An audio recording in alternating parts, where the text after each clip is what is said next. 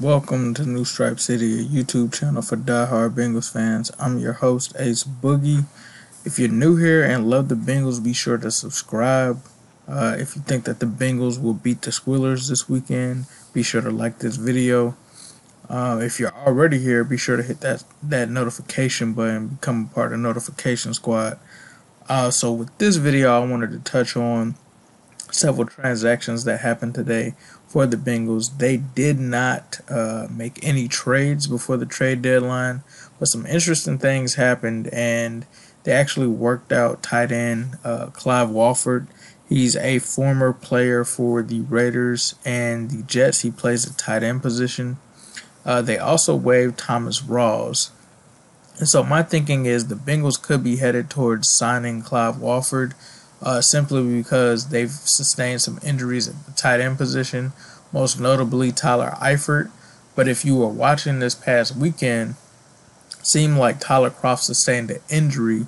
Um, so they worked out Walford, who also worked out for the Seahawks on the 8th and worked out for the Bengals on the 9th. And Walford is a guy that was um, drafted out of the University of Miami to Oakland uh, spent some time there, uh, kind of flamed out there a little bit and joined the Jets, where he later was also cut. So kind of uh, followed the Thomas Rawls route of, you know, flaming out one place and then signing with the Jets and then getting cut. Uh, but I really liked Walford coming out of college. He was actually one of the people that I actually mocked to the Bengals a few years ago.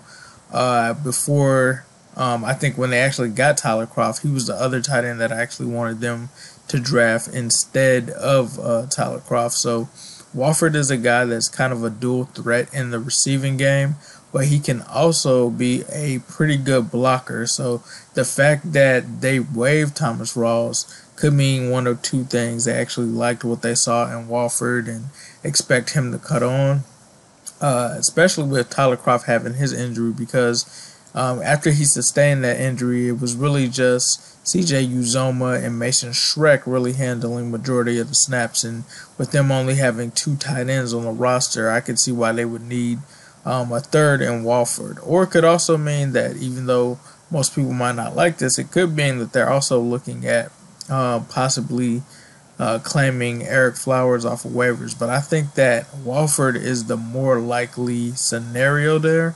Uh, Walford, I think, would be a great addition to this team. So that would be very interesting if they do sign Walford. So stay tuned for that. I think it has a very likely chance of happening because with them cutting uh, Rawls so abruptly, that could mean that they think that Walford is ready to come in here and they could have some competition uh, from the Seahawks to get him signed. So let me know what you guys think uh, of the potential signing in the comments. And as usual, I'll leave you guys with a Who Dey all day, every day and especially on Sunday.